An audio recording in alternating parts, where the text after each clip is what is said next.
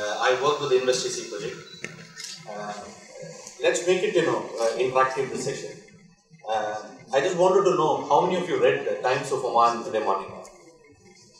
Yeah, because the Times of Oman is talking about this report uh, today morning, and we are very happy, you know, here in ministry that you know today itself we decided to do this uh, uh, session. It's not that we planned it, nor we told you know Times of Oman to do cover that article to get more coverage for our workshop. Uh, another question: How many of you have got this questionnaire from World Bank for this year's report? Okay, thank you. There are there are a couple of people. So you know we have got the right audience and we have got the right forum. So let's let's get it started. Uh, it's it's a very short presentation. We will give you an insight into ease of doing business report you know, for uh, the benefit of the larger crowd here. Uh, we will give you an update about especially what Ministry of Commerce is trying to do with respect to Invest Easy project. Uh, what is the impact and achievements that we have done till now? Uh, specifically, we wanted to focus about our brand new feature, which will affect big time this report. You know, this World Bank's ranking and report. And uh, we, I'll take a quick, uh, uh, you know, short walkthrough of this this questionnaire, so that will help if anyone is planning to respond to World Bank about that aspect. So we in ministry are you know quite serious about you know this report. That's why you know we have read every single page and every single word of this report. You know, in, which is the latest report from World Bank 2015 the team from ministry also met uh, the World Bank team who is part of uh, doing this uh, report. We got their insights and we got their guidance and we got their support. most probably many of you who have already participated know know this. The World Bank evaluates 189 countries based on these parameters. It may not be very you know clear thanks to the projector, but you know, these are the parameters.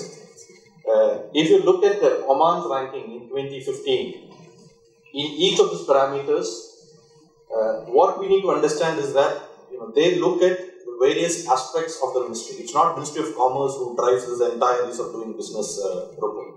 So if you see, like paying taxes, we are, you know, we got a ranking of 10. Uh, registering property, it has got 19. Dealing with construction permit, 49. Trading across borders, 60. Getting electricity, resolving insolvency, 112. So it is, there are different rankings in different uh, parameters. So in each of these parameters, you get different rankings. And overall, Oman is 66 out of 189 countries in the 2015 ranking. What we also need to keep in mind is that not everything is done by Ministry of Commerce. You know, it's a collective government of uh, Oman effort. So if you see for paying taxes, at the moment, uh, probably many of you know, the Secretary General of Taxation is working on an integrated tax management system, which will also help us to you know, again improve our ranking. Uh, registering property, uh, Ministry of Housing has got a land request system uh, in a simple uh, in application. In Muscat municipality, the building permit system is simplified. Uh, you know, there is an online system. They have processed already around 33,000 uh, transactions through the system. And not only that, you know, it's a, you know, they have kind of re-simplifying the whole process. They have already engaged uh, ENY. ENY has given them a process simplification. So there is a lot of you know, work happening in that space as well. In trading across borders, ROP Customs uh, is doing currently the pilot uh, where they are launching the project Bayan, uh, where it's a single window customs clearance uh, portal. Uh, again, there is also a lot of process simplification happening there in getting electricity, you know, they, they measure things like, uh, you know, how reliable is the electricity connection here, how fast we can get it, is are how many electricity companies are here in Oman. As we know, there are, you know, couple of electricity companies and, it's their, their domain. Uh, resolving uh, insolvency, you know, public prosecution is the entity, you know, who's responsible in that space. Uh, now getting credit, uh, you know, to start a business, you know, you need credit. So especially you know the, the uh, for the SME sector, you know there is uh, Riada Fund, uh, Al Rafd Fund, SME Authority, all of them are you know kind of helping you know to to get credit uh, for the small and uh, medium enterprises. Mm, again, protecting minority investors. Uh, it is a bit of you know public prosecution, CMA, MOSI. You know all of us you know, contribute into that space. And this is, you know, one space, you know, starting a business where Invest Easy project plays a major role.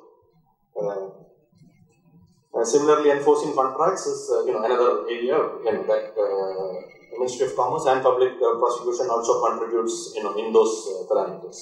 Now, if you if you you know if you've read today Morning Times of uh, Oman's report, you know, this is exactly what you know, they've kind of tried to highlight.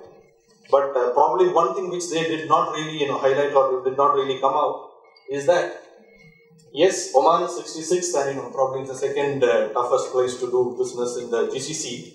But if you really look at that 5 and 7, you know, Oman has got the best number of procedures and the fastest the number of time of doing business among all the countries.